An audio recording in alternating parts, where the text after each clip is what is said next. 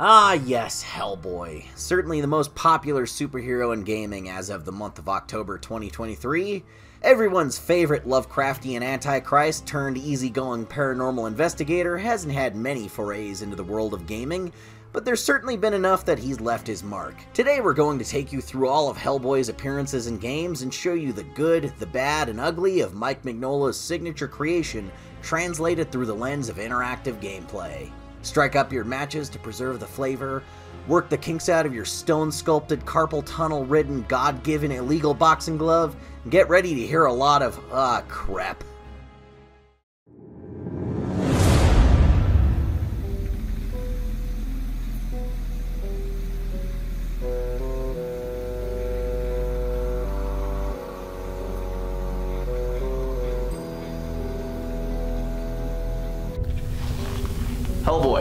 Got eyes on any of those cursed artifacts? Oh yeah, I have eyes on one of these stiffs. Ah, you know, I'm feeling a bit stiff right now.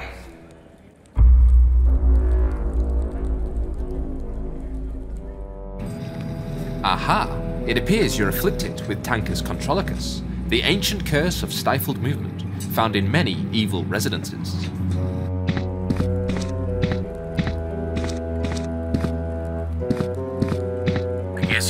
Sidestep this one, eh, Red?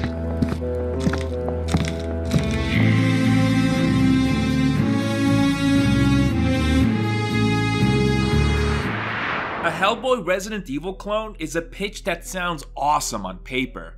The comics are chock full of creepy settings like ancient castles, cemeteries, and villages. I can easily see a game that has you exploring these kinds of environments, solving puzzles, gathering ancient artifacts for key items, and reading diaries that flesh out the folklore of whatever evil you're trying to dispel. Hellboy Asylum Seeker, originally Dogs of the Night on PC three years earlier, takes a shot at this concept. Is it as cool as it sounds? Or is it another clumsy mess that pales in comparison to the king of the genre? Asylum Seeker opens with an old man giving BPRD agents some exposition about the evil we'll be trying to rid the residents of. He explains that there is an ancient evil known as the Nohax Canis, also known as Dogs of the Night, waiting for someone to open a portal on the night of an eclipse so they can invade Earth. Twin brothers who have somehow cheated death oppose each other, one protecting Earth from the Dogs of the Night and the other allying himself with them. We then cut to a cemetery where one of the agents is investigating the area and gets ambushed by a creature from the shadows. Now, I had to watch that cutscene like three times to figure out what the hell the old man was saying, cause the audio mixing is terrible. There are parts where the music completely drowns the dialogue, and I had to just sort of place together what the old man was saying using context clues. Before the game starts, we get this little intro card with Mike Mignola art, which is awesome. The game is broken up into episodes, and each episode has one of these intro cards. Mignola has one of the most recognizable art styles in the industry, and it was a good call finding a place for it in this game. Hellboy and Sarah show up at the cemetery 72 hours after the agent's disappearance. His name's Peter, by the way, and they're here to find out what went down. I think Hellboy looks pretty good here. I'm a sucker for low poly PS1 graphics, they're easily my favorite retro video game aesthetic, and I love that indie games have kept this graphic style alive after all these years, so I'm being a little biased here. However, I do wish he had a few more layers of clothing here. No shaming, but seeing Hellboy walk around in what I imagine to be a pretty chilly cemetery in just short shorts looks super silly. He's like that one friend that insists on wearing basketball shorts in the dead of winter and is all like, You guys are cold? I don't get cold. So, the Resident Evil essential game mechanics are here. You got tank controls, fixed camera angles, and a loading screen every time you go through a door. Except they're all executed just badly. I'm no stranger to tank controls, I'm well initiated with them, and I actually quite enjoy them. But controlling HB can be frustrating at times because pushing forward on the analog stick will make him take this big step forward, which doesn't sound like a big deal, but whenever I was trying to position myself in front of an interactable element in the environment, I found myself wrestling with the controls as I tried to position Hellboy at just the right spot. You can lightly push the analog stick forward to make him walk instead, but that just doesn't feel intuitive. I wish, and get ready for the first of many Resident Evil comparisons, you could just toggle between running and walking with the push of a button. By the time this game came out, developers started implementing actual 3D modeled environments into games with fixed camera angles, which does allow for the camera to pan around, follow the player, and overall be more dynamic. But I think it was a missed opportunity to not go with the pre-rendered backgrounds approach. For one, these backgrounds age like fine wine.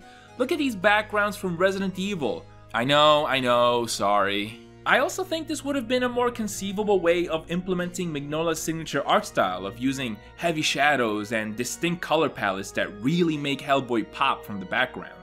After all, pre-rendered backgrounds are essentially paintings broken up into different layers to give the illusion of 3D space. Mignola could have done some himself, or at least be a consultant. By the way, that's not to say the environments here suck. They, they don't. They carry that appropriate moody atmosphere that should be present in all things Hellboy. Hellboy comics just have such a distinct look that I feel are essential for any medium we may find them in. This game having 3D modeled environments also allows for the camera to change perspectives and into a traditional third person camera angle whenever we enter a combat scenario. And boy, let me tell you, the combat in this game is easily the worst aspect. This is the big caveat when making a Resident Evil style Hellboy game. Hellboy is a big action hero sort of guy. I mean, just look at his design. He was practically born to fight big monsters. So going the action beat 'em up style game is the obvious route. But I appreciate the guys at Cryo Studios going in the direction that they did for this game. It's really inspired in hindsight, even with all its faults. But you do lose out on getting any satisfying combat. The combat here is kind of non-existent really. Like, yeah, you can punch enemies with your right hand of doom, but there aren't any mechanics here for me to play around with. Combat boils down to you positioning yourself in front of the monster and holding down the square button. No joke. This strategy can be applied to just about any enemy you encounter. And oh my god, enemies take so long to die. It took me two minutes to take down just two zombies. What a slog. You do get to use the Good Samaritan, which I think I shot a total of three times. I ended up stocking up ammo in case I came across tough enemies for no reason, because just punching enemies and stun locking them pretty much guarantees your survival. And that's the thing, there's no survival element in this game. When fixed camera angles and tank control bearing video games have some sort of combat element, it's not really about how good combat mechanics feel. It's more about making the decision of do I spend my resources on this enemy to clear a path, or can I circumvent them and save my resources for a bigger threat? You know, like Resi, that philosophy is not found in Asylum Seeker at all. Combat encounters go one of two ways. Guarantee your victory by standing in place in front of an enemy and mindlessly holding down the square button, or easily run by them without giving it a second thought. Look at how I easily avoid these three-legged penis monsters. I actually think it would have been pretty bold of this game to completely ditch any combat mechanics and instead treat each enemy encounter like a puzzle. You know, like a point and click adventure game, where it's about using the right item or interacting with something in the environment to take the enemy down. There's actually one instance in this game where that's the case. There's this big bug monster that's infesting the place with smaller bugs. Attacking her directly doesn't do anything. But you'll notice that whenever you clear a room of her gross little bug spawns, she'll birth more of them. When she's squeezing these little guys out of her bunghole, she'll lift her head, exposing a hidden nook in the room. You gotta use this brief window to slip underneath her and get to this spot to activate an explosive that'll take her out. Now, this didn't exactly blow my socks off, but I did think it was a step in the right direction. And if these instances got more and more complex as the game went on, I think it would have been far more engaging than the brain dead combat we have here. Let's catch up with the story. After investigating the cemetery for a bit and solving some simple puzzles, we find Peter dead. We fight a topless owl lady and get separated from Sarah. I ran around in circles in this area for way longer than I should have because it's so dark I couldn't tell that there was a torch in this wall for me to use my lighter on. After fighting these ghouls with fucking T1000 hook arms, we come across the first major puzzle. We gotta balance out these pedestals using rocks of different shapes and sizes. Seems easy enough. Uh, okay, you go there. That one here. And this one here. Hmm. Didn't work. Okay, how about you here, that one there, and this one here? No? Okay, I got this, I got this. Okay, that one here, this one there, and you here. Arrgh. That one there, this one there, and this one here. Fuck! One eternity later. Okay, this one there, that stone here, and that one there. Ha! First try. The puzzles in this game were unexpectedly amusing and were never obscure or frustrating. I was able to solve all of them without the help of a guide, which I consider to be a big plus. Some of them were hilarious with how ludicrous the solution to them was. Like this one part where a creepy skelly guy won't let you into a room because you're not a monk. So Hellboy just fucking pockets a decapitated monk's head and holds it in front of his face when he confronts the guy again. And it works! I was expecting the puzzles in this game to take themselves more seriously, revolving around folklore riddles and the like that you have to decipher, or play some keys on a piano that correspond to a poem. But no, sometimes you just gotta feed a hungry kid some chicken. After reaching the asylum we sought after, we yeet a mm-hmm. crazy one-armed nurse out a window, get barfed on, and discover one of the wizard twin brothers living in the walls. He explains that every 666 years, an eclipse happens that brings our realm the closest it possibly can to hell. The last time his evil twin brother attempted to open a portal to hell during the eclipse, he stopped him with the help of an amulet. With that amulet nowhere to be found in the present, the wizard sends us on an excellent adventure 666 years in the past. One thing that really hinders this game's pacing is this boring ass loading screen. It pops up every time you go through a door, and in a game where you're constantly backtracking and sometimes getting turned around and lost for a bit, these loading screen times really add up and I found myself glancing at my phone and getting distracted. In a game like Silent Hill, loading into a new room doesn't take more than 2 or 3 seconds, so it's not really an issue. Resident Evil takes a bit longer, but it plays this short cutscene where we shift into the player character's POV as they creep up to the door and swing it open. It's a really effective technique that builds tension and makes this transition into a new room feel seamless. This bland ass loading screen in Hellboy feels like you're hitting a 4 foot high speed bump and is really outdated when other games of this style were being craftier about this sort of thing. So after solving a few more puzzles and fighting this nightmare feel of a boss, we recover the amulet and go back to the future. I friggin' love this bit of Hellboy falling flat on his face like it's a Family Guy gag. This following sewer section puts Evil Dead Hail to the King's hedge maze to shame. Every corridor looks exactly the same. I never felt the need for a map in this game, except for this section. I absolutely had to look one up on GameFAQs. It's damn near impossible to navigate these sewers since there are hardly any landmarks or any type of indicator letting you know where you are. Eventually, we make it to Hell where Sarah is being held captive and fight one of the most disappointing final bosses I've ever experienced. Because you don't really fight it. All you do is run into four of the same zombies we've encountered before, just colored red this time, and punch them to death to raise these platforms and reach Sarah. With the day saved, we eat shit one last time, and brush off the fact that we'll have to deal with the same problem in another 666 years. Thankfully, I won't be around for that. Hellboy Asylum Seeker is unfortunately a bad video game debut for the Dark Horse icon. Apart from a few amusing puzzles, there's really not a whole lot to enjoy here. The story leaves a lot to be desired, which was the most heartbreaking aspect with how many great stories there are to pull from the comics or be inspired by. I do have to highlight Hellboy's voice actor, David Gassman. This is the first time Hellboy was given a voice, four years before Perlman became the one everyone thinks of and Gassman absolutely knocks it out of the park. He sounds a lot more like the voice I hear in my head when reading Hellboy comics. I don't like this.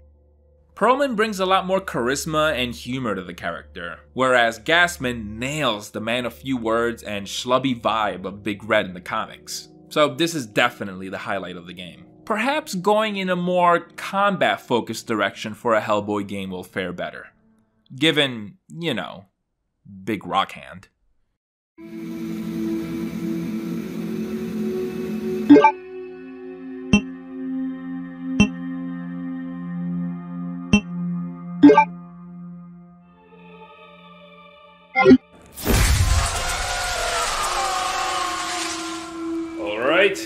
Takes care of the first artifact.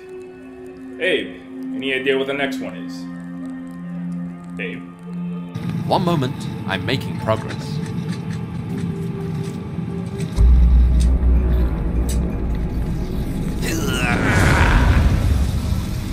Find yourself someone else that's talking about the Hellboy Java game in 2023. We're doing great things here. Simply titled Hellboy, here we have a fairly competent 2D platformer that kinda reminds me of the old Prince of Persia games. It features an original story of Hellboy getting stuck in some sort of spiritual world ruled by a Native American shaman.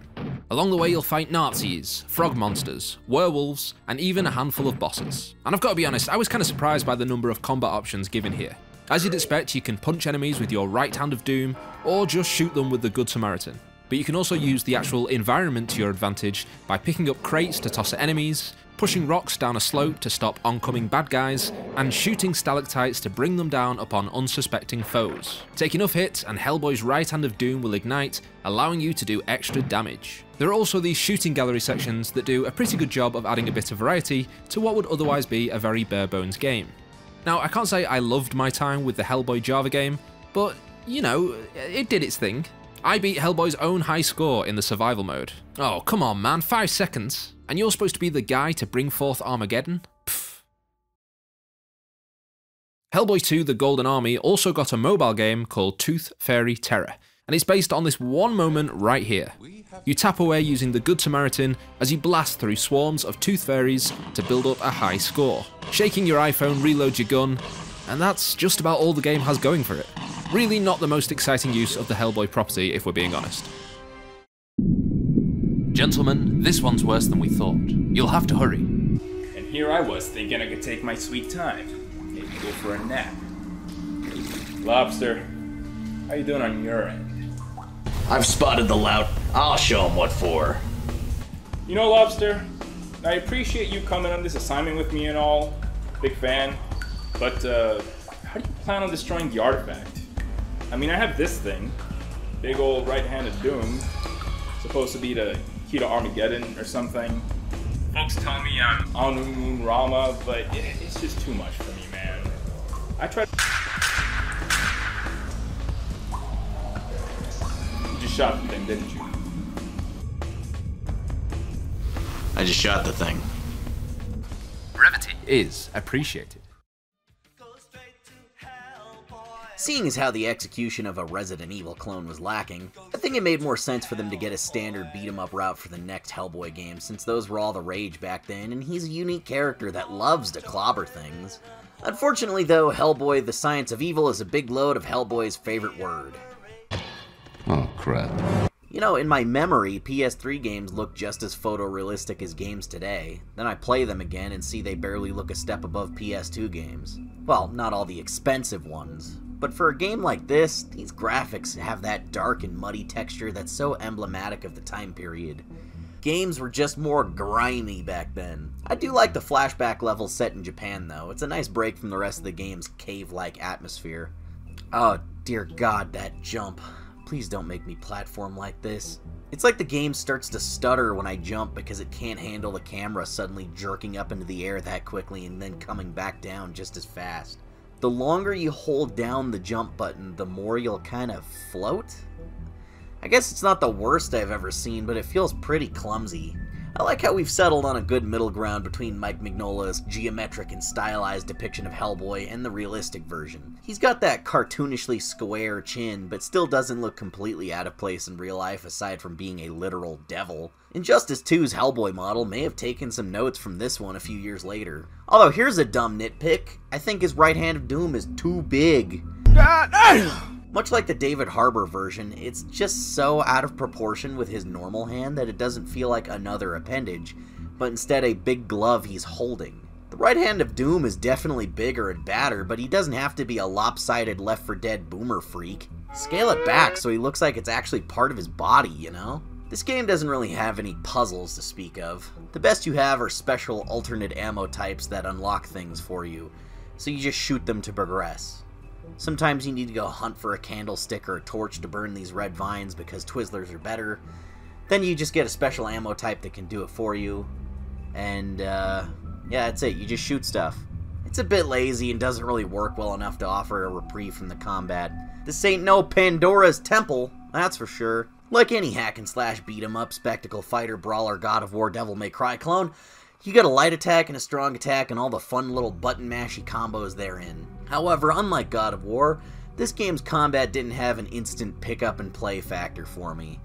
It took a little bit of time to get used to because Hellboy stands out in this genre full of agile blade wielding characters by being slow and deliberate in his moveset, which I think fits the character well. He's not a ninja, he's a bulking brawler that smashes with his big club fist. Because of his natural endowment, he favors his right hand a lot in combat, making him a little asymmetrical with the type of punches he throws. HB doesn't really have the range of a Blades of Chaos chainsword thingy, he has to be right up on enemies to do the most damage, so the game forces you to push yourself in close for grappling enemies and combos. There's a big emphasis on grabbing foreign objects in fights too, like tombstones, barrels, fence posts, trees, ladders, boxes, and other stuff he can hold like a sword in that way that he always does. Hellboy just isn't Hellboy unless he's resting a giant sword on his shoulder and then breaking it two seconds later because he's a clumsy and brutish combatant. On paper, this all sounds well and good, but I just don't love the execution of the combat. Being so heavy and solid should make you feel like you pack more of a punch, but instead it just feels like playing as a moderately strong guy with weights in his shoes. I don't get the satisfying crunch of destruction under my stone fist that I so desperately desire. The enemies just feel like slippery little bars of soap that I'm just chasing around desperately trying to catch. They're so fast and small, and Hellboy's a walking brick. He's also brick colored. The combat also feels unfinished. It's just the same two mechanics of bashing things and then shooting them with your slow ass gun. But there's no way to combine the two in any kind of combo system. Shooting completely breaks the flow of your hand to hand combat, and punching prevents you from being able to aim with any certainty. It's one or the other, but I'd like to be able to mix and match the approach. There's also no defensive options at all because Hellboy can't block or evade, so you're just SOL if anyone tries to hit you, or one of the bosses does a grab attack. Oh shit! It's fucking Cygor! Uh, for those of you who don't know what the word Cygor stands for, it's short for Cybernetic Gorilla. It's so bizarre to not have a block or parry or anything because the R1 button is right there and it has no function at all. It's completely unassigned for the whole game. Weird. There's also no upgrades or skill trees or any of that. Honestly, it's kind of refreshing because I personally hate overly complex skill trees, but it hurts this game because there's no sense of progression. I don't feel any stronger in the last level than I do in the first. I'm still just using the same basic attacks and combos. Nothing has changed in any way. For this genre of game, that's just really weird. All of these types of games have upgrades, even goddamn Spider-Man Friend or Foe has unlockable moves and a point system. I really feel like this game isn't finished. The slowness of movement also makes it harder to deal with enemies that have any ranged attacks, like the machine gun Knotsmans and the gas masks. They can get off so many shots in the time it takes for you to slowly waddle over to them. When fighting most enemies in the later half of the game, they drunkenly slump to the ground and ragdoll out after a few punches, then get back up to keep tormenting you. So the more efficient move is to hit them with a weapon to stun them, then do a finisher move. Combat also just feels way more satisfying with a weapon in hand because you have better reach and you can hurt crowds of enemies more easily. So put these two together and it just makes using your fists seem kind of pointless. Almost like you should go out of your way to not do it because it's so harmless. Then they throw enemies at you that can't be grabbed or killed with a finisher in the desert level, and I just start to lose patience with it, either by shooting enemies repeatedly, which seems to have basically no effect on them, or bullying this one individual that kept getting back up for hours. Hey, Bat Dad! I didn't hear no bat. Enemies being this spongy in a game like this isn't fun, it's just tedious. I'm punching the same guy for like a full 60 seconds each every encounter, and it just brings the pacing to a dead halt. Turns out the enemies in the desert level can only be beat with these orange crystals in the environment or these swords, or turning the crystals into an ammo type. Again, no fists. Hand-to-hand -hand melee combat is useless in this hand-to-hand -hand melee combat game. Fuck. This game's also got a real problem with stuff randomly not working. Sometimes you'll pull the trigger and your gun won't fire. Sometimes you hit the button to grab an enemy and it just doesn't work. Sometimes you try to switch ammo types and it just doesn't do it. I also had problems with enemies clipping out of bounds where I couldn't fight them, forcing me to restart the encounter. Enemies can also get stuck on the environment and I have to backtrack to go find them so I can get through the door, and that's embarrassing for everyone involved. It's not the most consistent or stable game, but it works just well enough that I was still able to beat it. Barely. There's a really shitty part in the fourth level where you need to drop enemies into a pit to progress, but you can't throw them into it. They need to just tumble in as a ragdoll after being knocked down. Here, look, I actually tested it. Throwing it does not count. Knocking them in like this does. I have no idea why this is like this. There's not much that can be said for bosses. This game has barely any. The first is a fight with Cygor that really took me back to the olden days of gaming when you were supposed to just figure shit out by yourself. Turns out this boss is invincible, and the only way to beat him is to tear down the support beams on every floor of the building to collapse the ceiling on him. If this game was made today, there'd be several intrusive hints on the screen flat out telling me what to do, or multiple friendly NPCs standing off to the side shouting the solution at me in the form of a question so I could still feel like it was my idea. It's nice to not have your hand held, but there was zero indication that this was the intended strategy, and it took me forever to figure it out. So game design sucked then and it sucks now for completely opposite reasons. It's crazy. There's never been a single good video game in history. Except for Pac-Man World on PS1. Next boss is the Witch Lady and you just throw things at her and that's it. Sucks. Big worm thing, you throw rocks at it, then shoot a laser at it. It's annoying because it's hard to throw stuff at the worm when your auto target keeps wanting to hit the soldiers on the ground instead. Sucks. Uh, fucking fuck this final boss. Obviously, Ron Perlman plays Red in the game, but this also has a two player co op mode to make things less of a tedious drag. And player 2 can be Liz Sherman or Abe Sapien, with their actors from the film reprising their roles. Between this and the animated movies, these three were just really dedicated to these characters at the time, and I admire that. The co op mode is the same as most games. Any bad game is a little bit more fun with a friend. The tedium is reduced when you can punch every enemy at twice the speed. Though player 2 is a bit less useful since they can't grab heavier objects and enemies or break down doors, so they're at player 1's mercy. Liz doesn't even get a gun, so she can't help with any of the gun-based puzzles. Selma Blair and Doug Jones provide incredibly small roles with just like tiny bits of generic dialogue that are hard to hear over the combat and are just like commenting on random things in the gameplay. I played for like 30 minutes and heard Abe say one line. Liz Sherman can't even technically be in these flashback levels because she'd be like a year old or not born yet. This is the definition of tacked on. There was no thought that went into the co-op mode. You might be wondering why I haven't talked about it yet, but this game doesn't exactly have a strong story, or really any kind of story. It's full of cutscenes of NPC skeletons with the same voice just making vague allusions to some kind of, like, dark backstory, but never actually saying anything definite or interesting.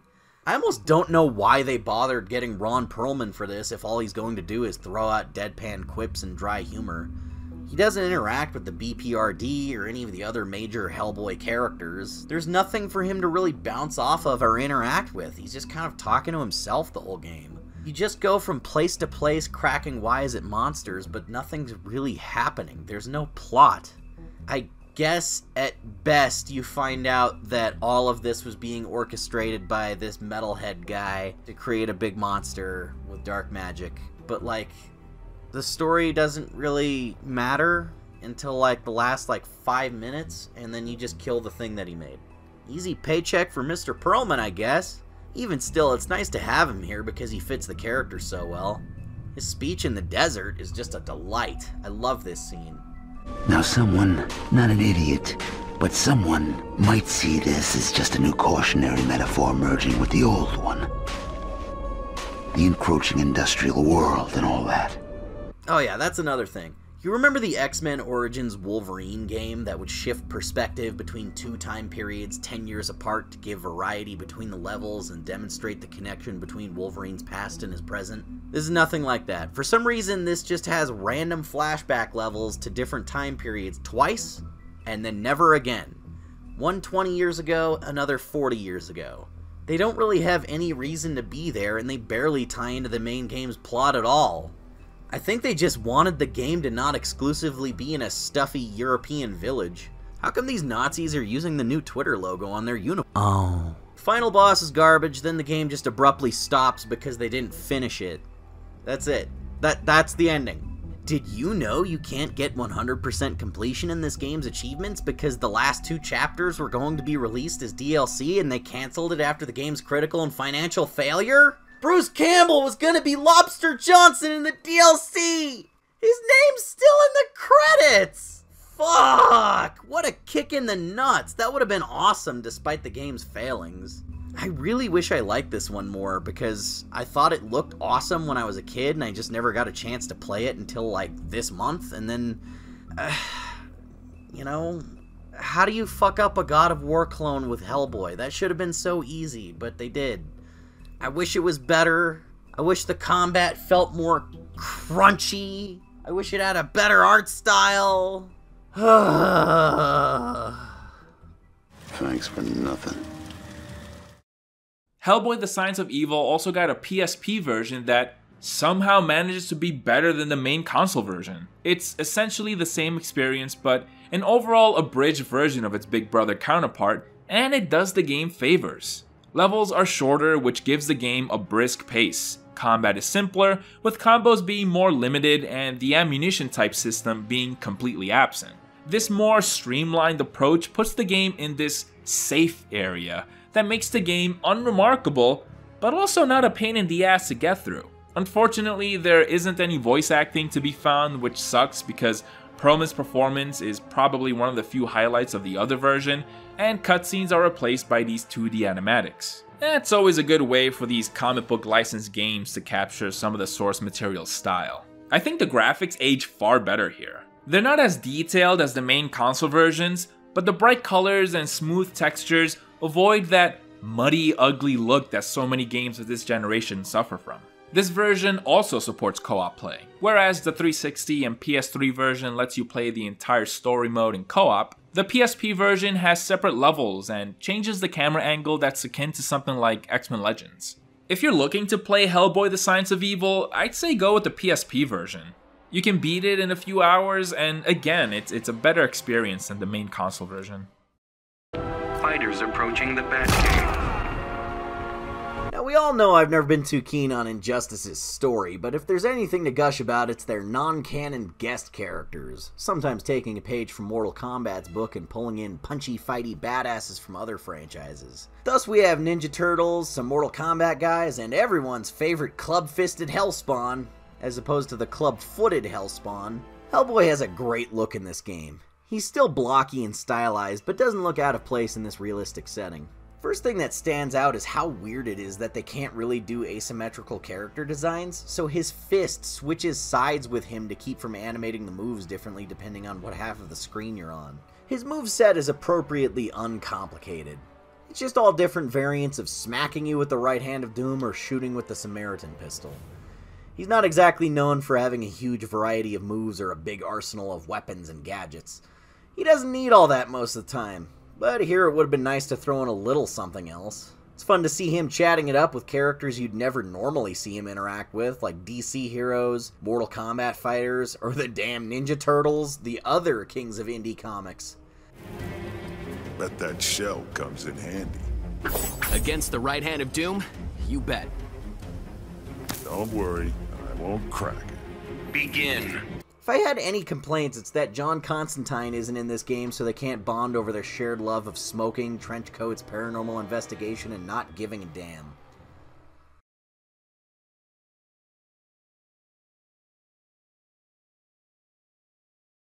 Brawlhalla is a free-to-play Super Smash Bros. clone that I absolutely suck at. It features a ton of guest characters from Street Fighter, Ben 10, Avatar The Last Airbender, and a bunch more. Hellboy was included to coincide with the unfortunate release of the 2019 reboot, as well as other characters from the movie like Nimue, Gruagach, and Daimyo. Hellboy is a skin for Brawlhalla's own character, Cross. It works perfectly since Cross has these giant gauntlets that can be easily reskinned as Hellboy's right hand of doom.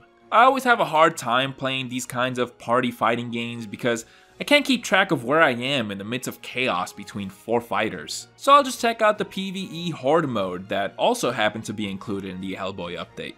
Yeah! Look, look at me go. These hallways are like a maze. Yeah, no kidding. I'm getting turned around here. I think I hear something. Something big. Oh, crap. So do I. Oh. Sorry about that, Lobster. Don't sweat it, Red. I think we're getting close to the source of the curse. It's gonna take everything we got to snuff it out.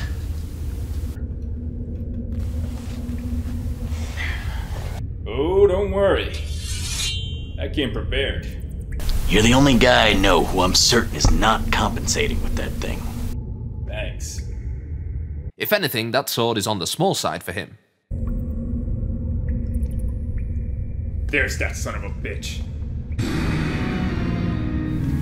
Alright, you foul, wretched spawn of hell. Hey. Uh, sorry. Prepare to feel the wrath of the claw.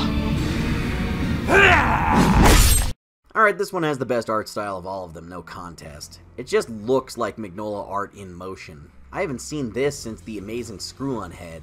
Between this and Hi-Fi Rush, I think cel-shaded brawlers are making a comeback. I truly miss games using a stylized graphical look to replicate comic styles like Telltale's Walking Dead or Ultimate Spider-Man basing their models on Mark Bagley art. This game perfectly captures the specificity of the Hellboy art style. The rounded shapes that have little imperfect angular corners on them, the stylized anatomy and geometric proportions of Mignola's pencils. I can't get over it. Even the simple single colored backgrounds that clash with the shadows and dark colors the characters create a really unique contrast just like the panels. It's all here. I remember seeing a Hellboy fan animation on Twitter some odd years ago. It perfectly translated Mignola's art style into 3D, and I thought, like I'm certain many others did, man, this would be perfect for an animated movie or a video game. Then shortly after that, Upstream Arcade released West of Dead, a roguelike isometric shooter with an art style very much inspired by Mike Mignola. Not only that, but Ron Perlman also voices the player character. It seemed like the stars were aligning for an inevitable Hellboy game in this art style, and they indeed were. Upstream Arcade is back once again with a roguelike, Hellboy, Web of Wyrd. This game tells an original story that's very much in line with what we come to expect from Hellboy comics. The BPRD has picked up some psychic spikes scattered around the earth that when decoded, reveal coordinates pointing to an old abandoned house in Argentina. In the house, we discover a chamber that drops us to a separate dimension known as the Wyrd. It houses creepy living statues, were-rabbits, and godlike entities that speak in riddles. It's all appropriately Hellboy with its overall tone and the way the story is delivered. Something in the Wyrd is causing spikes in the normal world, and it's up to Hellboy to dive in over and over again until we find out what. Shaharazad. Shaharazad. Sh- Charizard. I'm definitely not one of those guys that insists one actor who is good in a role was born to play the character and can never be recast. Ron Perlman nailed it with Hellboy, obviously, but I'm open to other actors voicing him and playing him in the movies, so Lance Reddick getting cast for this role immediately made me more excited for this game because he was always one of my favorite actors. He's the guy who got one over on Eric Andre on his own show. Need a new desk. He's earned the respect of John Wick, and by God, he was a fucking fantastic Albert Wesker, despite the show he was in being wall to wall doo doo, save for his performance. His take on Hellboy stands out to me because he's not just doing an impression of Perlman's version like most guys do. The personality shines through as the same calm and composed, wisecracking devil we know and love, but he just reads the lines in his own way and makes it his own. It's one of the biggest highlights of this game for me. As long as there are no balloon animals, lady, we're good. Rest in power, Lance. You are a goddamn legend. Much like Upstream Arcade's last game, Web of Wyrd is a roguelike, so you can expect the usual elements found in the genre like procedurally generated levels, randomized items, and permadeath. Huge asterisks on that permadeath though, because I found this to be one of the most casual roguelikes I've ever played.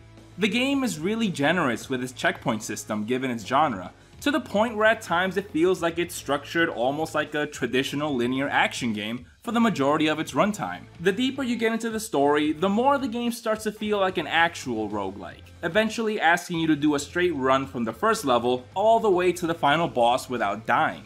I like that the game contextualizes why Hellboy needs to clear multiple levels in one go.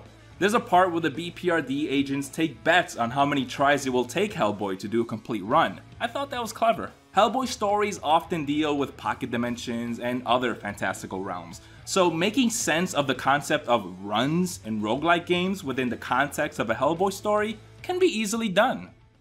I don't really play roguelikes. In fact, I uh I didn't really even know what a roguelike was. I actually had to ask Diego about it. But for some reason, anytime I've ever heard the term roguelike, it sent me into a blind rage where I wanted to kill someone.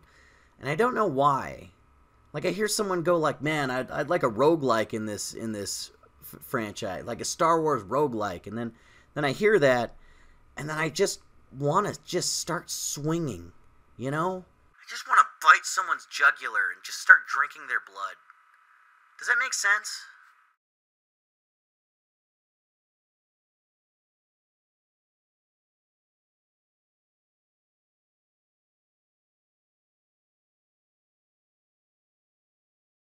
Hey X. Yeah, it's it's Diego. I'm Yeah, I'm almost done editing the reviews. Um You alright, man?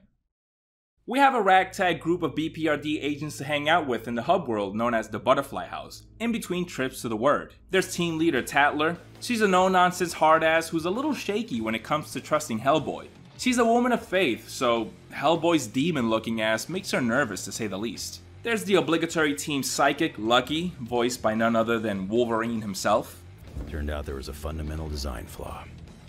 Poor guy never stood a chance. Foul-mouthed tech expert Altman. The conversations with this guy always trip me out a bit because the way he stands almost looks like he's T-posing, so I thought the game was glitching out on me. And finally, there's our two folklore experts, Mads and Benson, that you can talk to to get a better understanding of all the supernatural phenomena you come across. I've said it a ton of times before, but I love hub worlds in comic book games. It's the perfect opportunity to flesh out the world by having all sorts of conversations with the supporting cast, as well as offering a bit of a cozy breather in between the action. And Web of Wyrd did not disappoint in that regard. This is mostly where the story will progress. Every time you return from a run in the Wyrd, you'll have a new conversation unlocked that advances the plot. Besides catching up with the team, you can also read any diary entries you've collected, examine artifacts, and level up your gear, stats, and weapons. Leveling up Hellboy and your arsenal is another way this game is very casual in its roguelike elements. All of the upgrades you make to your weapons, gear, and Big Red himself are permanent. I don't have a whole lot of experience with this genre, but the roguelikes I have played are not as generous as this one.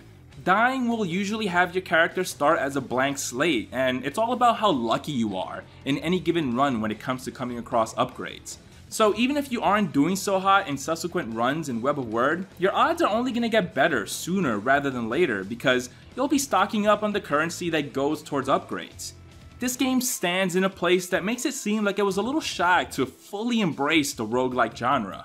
And I know there's a term roguelite to describe games that aren't as hardcore of an experience, but I'd hesitate to even call it that. On one hand, this game being more on the casual side avoids alienating players that may just be Hellboy fans and are looking to check out the latest video game based on the character without having their teeth kicked in.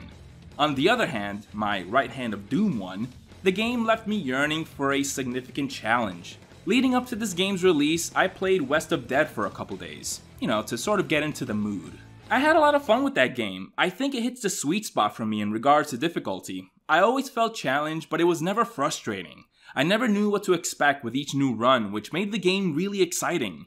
I hit a few snags with Hellboy early on, but that was just me getting used to picking up on enemy patterns. Once I picked up on the most effective techniques, I was clearing rooms in less than 10 seconds. I do wish the game offered a higher difficulty setting, even the modifiers you unlock in the endgame didn't do much for me. That being said, hitting a groove of dodging, parrying, and slamming enemies into stone pillars makes you feel like a total badass. Combat in this game has a surprising amount of depth and finally feels satisfying. Combat feedback is tricky because it's a combination of animation, sound design, camera motion, controller vibrations sometimes, and visual cues to make it really feel like what you're doing is effectively damaging the opponent. Science of Evil makes it feel like you're fighting paper bags full of mashed potatoes underwater. Web of Wyrd feels like you're a stone fisted devil bashing monsters to death with your super strength. They nailed the responsiveness in this game's fighting mechanics. I like how punchy combat feels and how it manages to feel satisfying despite not having a whole lot of mechanics. No doubt because of how responsive the controls are and how heavy attacks are accentuated with comic booky visual effects. But the focus on 1v1 encounters sometimes feels like a detriment because the smaller cannon fodder enemies are pretty much pointless. They're not a threat and they explode once you beat up the main big dude in the room. You, you can go pretty much the whole game ignoring them. While the levels nail the aesthetics found in the comics with simple color palettes and moody atmosphere, and you do have different biomes to get through, each with their own theme and unique enemies, like an underwater town with crustacean monsters, a spooky forest with rotting beasts, and a ramshackle subway with a giant man bats. The change in scenery is great and all, but you'll quickly notice that these are all pretty much laid out identically, just with a different coat of paint. You walk down a hallway, enter a room, usually one with a clearing in the middle with a few pillars laid out, and an elevator portion that you can reach by walking up a ramp. There's not much else to do in between combat encounters besides looking for extra rooms that offer buffs and health pickups, Sometimes you'll encounter these purple booby traps that are of no consequence. You'd have to be an imbecile to fall for one of these. Most of the time, they come in the form of these floating balls that don't even move so you can easily walk around them, or these brief bursts of fire that you just have to wait a few seconds to pass. They're more of a minor inconvenience than anything else. I did like the bosses because for the most part, it did feel like I was fighting a genuine tougher enemy, their attack patterns are a bit trickier, and they obviously have a bigger health bar and do more damage. Sometimes I feel like bosses in AAA games are more about putting the spectacle up front rather than having a formidable foe to go mano a mano with. Like I'm just picking up on simple patterns while I wait for the next prompt to trigger a big fancy cutscene. Taking down bosses in Hellboy felt satisfying. Even with all that being said, I feel like there's something missing in the presentation. I just feel like I want a Hellboy game with a bigger emphasis on story because those comics are so steeped in lore and paranormal investigation stuff. But these games come in and just want to focus on hitting monsters. Let me do some detective stuff. I don't know, anything to break up all the gameplay of just fighting. Science of Evil was just taking you to random locations with little to no connection, and this is at least more coherent than that. But so much of this story is told through exposition in these stiff conversations back at base and not really shown through the gameplay. Plus, the way these are structured gives you kind of this awkward, like, waiting for the guy to say his next line pause between dialogue. When I touch things, this little box whispers secretos. Anything useful so far? Not yet, but it is a big house. I will say though, this game looks really good for something on such a tight budget. You always know a game doesn't have much money when their cutscenes are doing like this like motion comic thing instead of like full motion video, but somehow I just kind of get over it here because it looks like a Hellboy comic so much that I just completely forget. While it may not be the deepest game in most aspects, Web of Wyrd is a low budget title going for as low as 20 bucks depending when and where you get it, which was kind of refreshing in the midst of massive games that seem to come out every other week. I may not recommend it for people that are looking for a challenging roguelike, but I would recommend it for Hellboy fans that want a game that authentically captures the aesthetic and vibes of the books, as well as to hear an absolutely badass take on Hellboy from Lance Reddick.